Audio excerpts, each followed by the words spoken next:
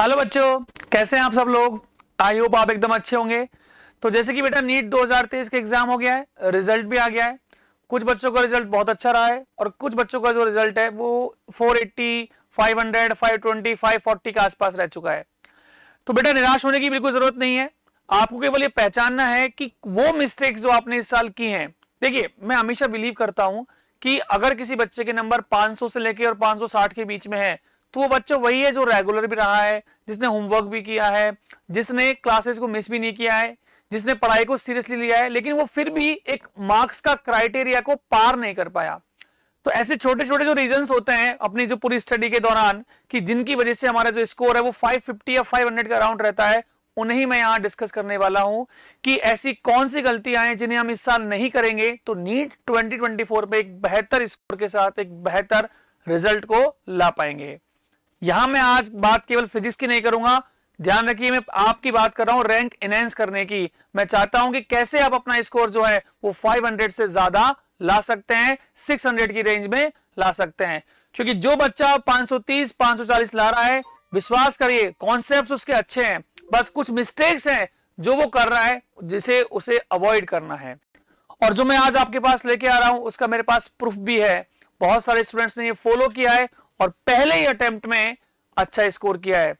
आपको पता होगा विशाल मित्तल के बारे में, जो हमने नीट अन अकेडमी कोटा का स्टूडेंट था, उसकी बात इसलिए की जाती है क्योंकि वाकई एक एवरेज स्टूडेंट था जिसने एक सिलेक्शन छीना है, जिसने टीचर्स की बात को माना क्वेश्चंस प्रैक्टिस को एक अलग लेवल पर जाके किया और पहले ही अटेम्प्ट में बहुत अच्छे स्कोर के साथ सिलेक्शन लिया।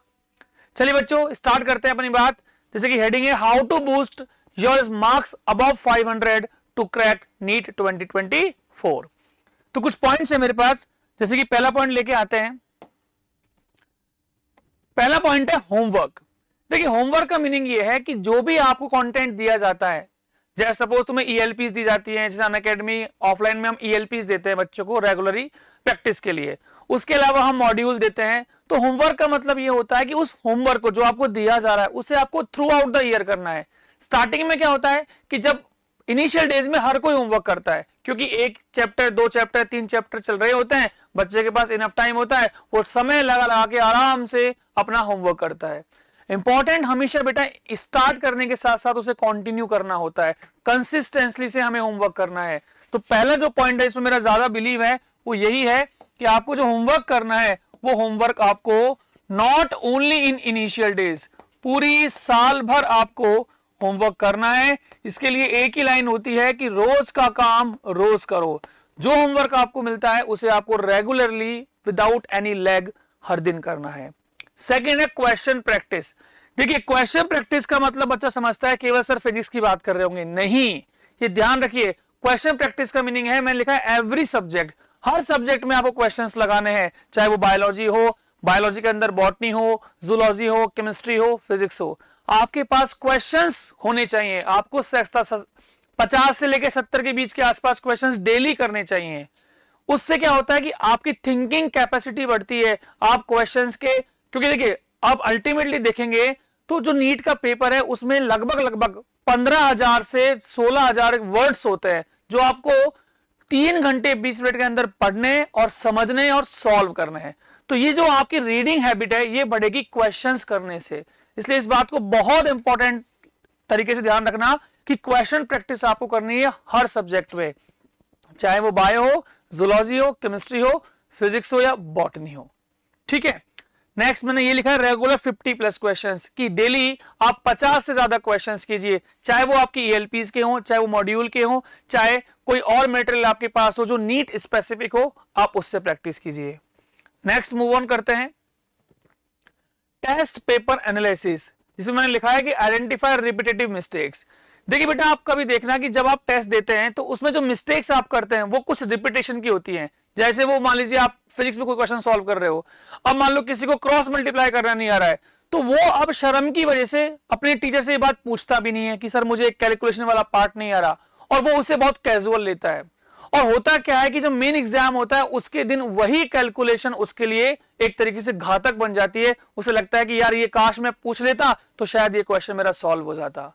मेरा कहने का मतलब ये कि आपको हर बार अपना टेस्ट पेपर देखना है और जो रिपीटेड मिस्टेक होती है जनरली ये कौन सी मिस्टेक्स होती हैं, या तो ये कॉन्सेप्चुअल होती है, जहाँ पर आपने कोई चीज़ रटी हुई रहती है और आप दो ऑप्शंस में कंफ्यूज हो जाते हैं, या फिर ये होती है एक तरीके से कैलकुलेशन वाली मैथमेटिक्स वाली। तो जनरली आपको ये चीज़ें अवॉइड करने का मन करता है, लेकिन नहीं करनी है, अपने टीचर से पूछनी है, ताकि आपके जो क्वेश्चंस है वो सही हो पाए।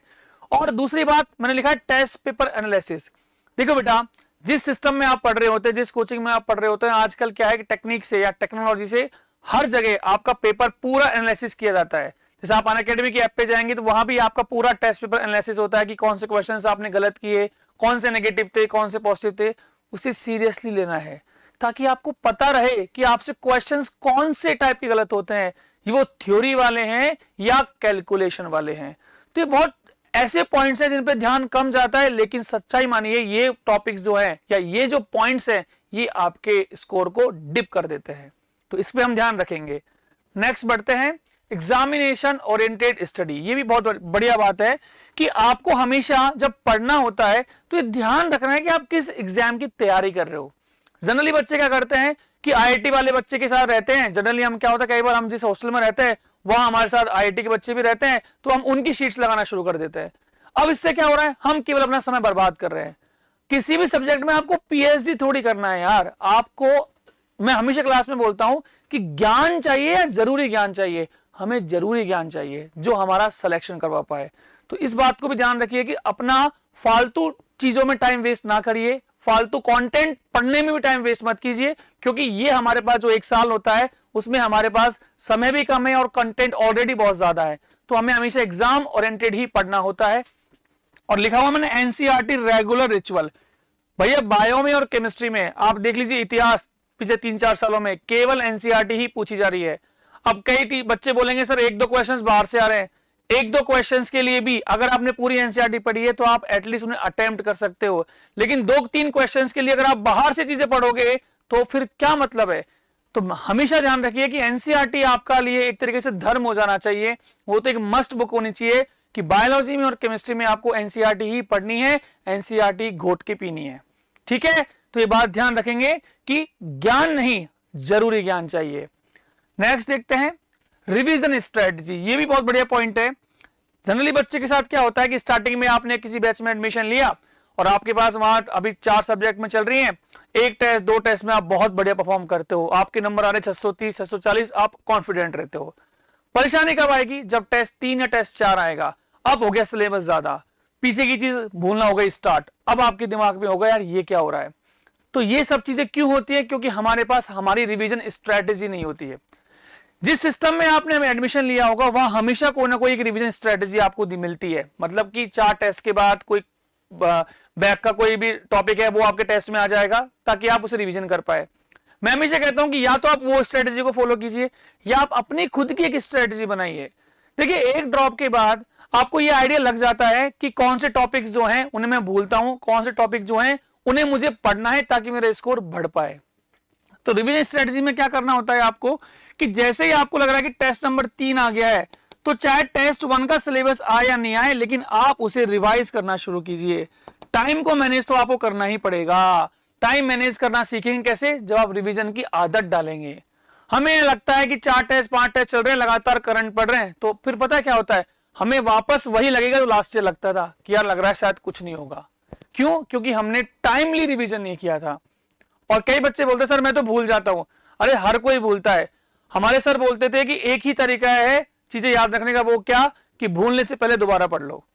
तो यही मैं आप लोगों को बोलूँगा। जो लोग सेलेक्ट हो रहे वो भी यही कहते थे कि, सर, हमने बहुत बार चीज़ें रिवाइज की है। इतनी बार रिवाइज कर ली कि लगा कि यार आप भूलेंगे ही नहीं। तो यही आपको करना है। रिविजन हमेशा करना है। टाइमली रिविजन करना है। ठीक है? नेक्स्ट पॉइंट की ओर बढ़े। फेथ ऑन सिस्टम ये भी बहुत ही इंपॉर्टेंट एक फैक्टर होता है आज की सिनेरियो में जब मैं देखता हूँ स्टूडेंट्स को कि उन्हें अपने एजुकेटर्स पे या सिस्टम पे फेथ ही नहीं होता है। देखिए, मैं ऐसा नहीं कह रहा कि टीचर जो होता है उसका रोल नहीं होता। हम सब टीचर से हम मानते हैं कि किसी भी कंपटीशन में हमने तैयारी भी की है कि कंपटीशन की में टीचर का बहुत रोल होता है। लेकिन केवल टीचर का रोल नहीं होता, ये चीज़ आपको समझनी होगी। कई बार बच्चों की कंप्लेन होती है कि, सर, दो टॉपिक तीन टॉपिक मेरे को समझ में नहीं आया। मेरा सर पूरा माहौल खराब हो गया, पूरा सर मेरा सब्जेक्ट खराब हो गया। अरे, ऐसे नहीं। तुझे प्रैक्टिकल सोचना है कि अगर मान लीजिए फिजिक्स की बात करूँ फिजिक्स में भी अगर मान लीजिए 45 क्वेश्चन है और तेरे दो चैप्टर खत्म भी हुए तो ज़्यादा से ज़्यादा क्या होगा? तेरे 20 नंबर या 15 16 या 20 नंबर ही कम हुए। लेकिन तू उन 20 नंबर के चक्कर में अगर कहीं और जाएगा, मैं तो ऑनलाइन पढ़ लूँगा, कहीं और पढ़ लूँगा, आप अपना पूरा शेड्यूल बिगाड़ लोगे। और उस शेड्यूल का रिज़ल्ट लास्ट में क्या होता है? ना आपके पास रिविजन का टाइम होता है और ना ही आपके पास अपना सिलेबस कंप्लीट करने का टाइम होता है। तो बच्चों, ये बहुत इंपॉर्टेंट एक तरीके से फैक्टर है कि आपको अपने एजुकेटर्स पे, अपने सिस्टम पे विश्वास करना है। विश्वास मानिए, अगर आप अपनी मेहनत में किसी प्रकार की कोई लैग नहीं देंगे, आप कंसिस्टेंटली पढ़ेंगे तो जो भी टीचर आपको पढ़ा रहा हो, किसी भी आप एक्स वाई जेड इंस्टीट्यूट में होंगे, वो आपको उतना तो पढ़ाई देगा कि आपका सिलेक्शन एक अच्छी रैंक से हो जाएगा। तो प्यारे बच्चों मैं यही कहना चाहूँगा कि छोटे छोटे पॉइंट्स को ध्यान रखिए ताकि अपना जो स्कोर है वो 500, 540, 580 से ऊपर पहुँच के 600 की लाइन में पहुँच पाए। क्योंकि मैं हमेशा मानता हूँ कि जिस बच्चे के 550 नंबर आते हैं वही बच्चा है जिसके नंबर 630, 640, 650 पहुँचेंगे। क्योंकि हम सब एवरेज स्टूडेंट्स हैं हम एवरेज स्टूडेंट्स ही वो हैं जो कंसिस्टेंटली लगातार परफॉर्म करेंगे क्योंकि सिलेक्शन बल्क में एवरेज स्टूडेंट्स का ही होता है। अगले किसी वीडियो में हम बात करेंगे फिजिक्स के टॉपिक्स की भी, फिजिक्स की बात भी करेंगे। ठीक है? तब तक के लिए अपना ध्यान रखिए और इन पॉइंट्स को फॉलो कीजिए। All the best